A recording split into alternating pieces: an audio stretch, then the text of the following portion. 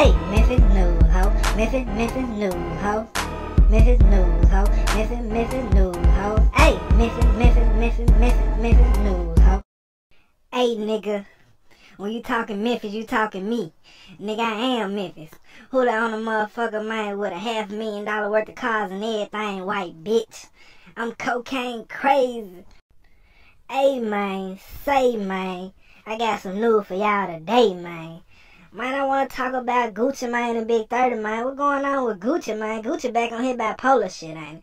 You know what I'm saying? Gucci tripping for real, for real. I don't like how he, you know what I'm saying, came at 30.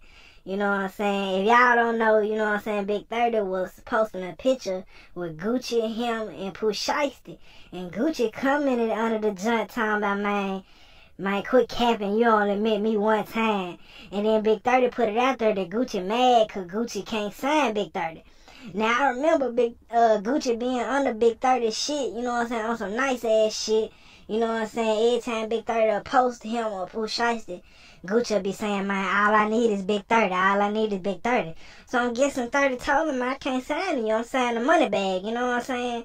And Gucci, man, on some more shit, like, he mad cause he can't sign a nigga. Like, who get mad cause, you know what I'm saying, you can't sign a nigga that's already signed. What you want him to say, man, fuck Moneybagg and go straight to you? Like, man, Gucci been on some more shit, you know what I'm saying? But I've been knowing what's up with Gucci once he fell out with Gotti, you know what I'm saying, over a slut bitch, you know what I'm saying? Gotti fucked the hoe and Gucci married the hoe, you know what I'm saying?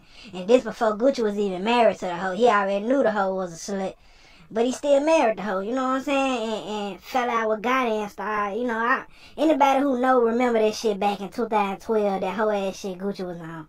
You know what I'm saying? And this kind of come back to the situation when I remember, you know, French Montana was just making videos and on YouTube talking about how much of a bitch ass nigga Gucci is and why he not with 1017 no more. And you see how it went with Flocka bitch ass. Flocka bitch too, but you know, you see how it went with Flocka and Gucci and how they fell out. You know what I'm saying? Saying like Gucci fall out with all his close homeboys. You know what I'm saying? On some some bipolar ass, crazy ass shit.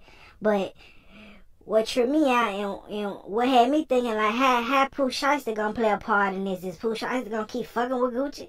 You know what I'm saying? Is um Big Sky gonna keep fucking with Gucci? You know what I'm saying? Because shit, man, as we know, Pooh Shiesty grew up with 30, you know what I'm saying? Like, I'm sure Pooh Shiesty, he, he come across as a nigga that's loyal, you know what I'm saying? He ain't finna, you know, cross that. I don't feel like he gonna stop fucking with 30, you know, just cause he signed with Gucci. And, you know what I'm saying? I feel like, man, they gonna fuck around and slang Gucci ass out. You know what I'm saying? Like, Gucci stupid, bro. Like, you got two of the hardest young niggas coming out of Memphis and you, you know what I'm saying, that's fucking with you. Even though 30 ain't signed with you, he fucking with you. Like, come on, bro. Like, these niggas can make you some real money. Like, you got some two young niggas that's really about what they rapping about. And you down there finna fuck that up. Like, dude on some more shit. You know what I'm saying? But, uh, man, man, y'all tell me what y'all think in the comment, man. I'm gone.